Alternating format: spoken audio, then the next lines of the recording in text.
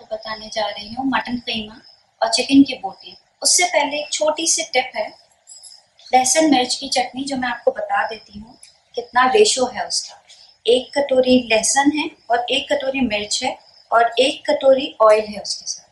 हम लहसुन मिर्च को दोनों को साथ में ग्राइंड करेंगे, फिर उसको ऑयल एक कटोरी ऑयल लेके उसको फाइव टेन मिनट्स के लिए उसको पका लेंगे।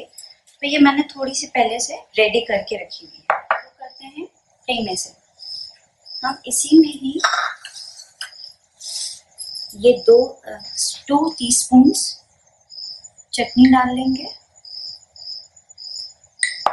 वन टीस्पून नमक। और ये वन कटोरी प्याज है। चॉप्ड अन प्याज।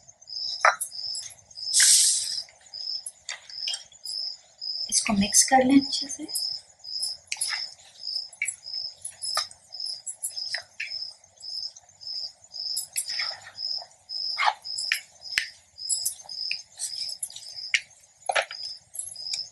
अब हम ऑयल डालेंगे कुकर में।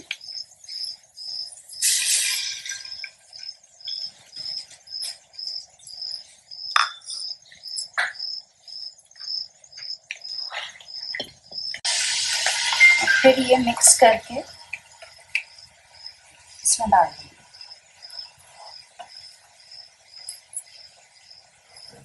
इसको आपको तकरीबन पाँच से दस मिनट तक भूनना है। आइए जब तक ये हो भुन रहा है, हम अपनी चिकन की बोटियाँ डाल देते हैं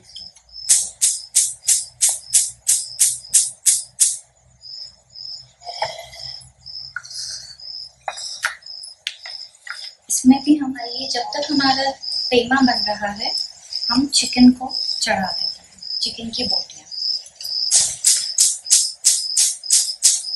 इसमें भी मैं लूँगी एक कटोरी ऑयल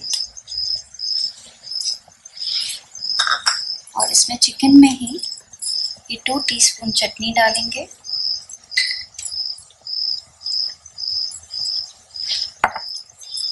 और वन टीस्पून नमक। इसको मिक्स कर लें। चिकन की बोटियाँ हमने पहले से एक घंटा पहले से मैरिनेट कर दी थी, दही लिया है। अब हम इसको